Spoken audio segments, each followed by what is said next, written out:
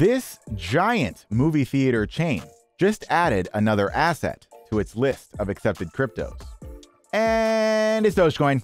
If there's one community that really knows how to mobilize, it's the Dogecoin community, as AMC put out a poll asking which crypto it should accept. And the Dogecoin community came in full force, with 80% of the respondents saying, yeah, duh, Dogecoin.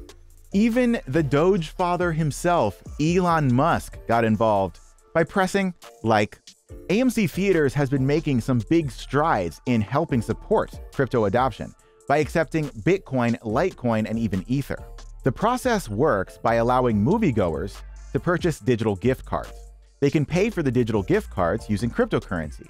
So don't worry, you won't be stuck behind somebody finagling with their crypto wallet to get their movie tickets, making you late to not see the trailers, which are my favorite part of going to the movies, aside from the butter on the popcorn. Mm. Dogecoin is accepted at AMC. Pretty cool. Are you going to use crypto in order to go to the movies? Let me know in the comments.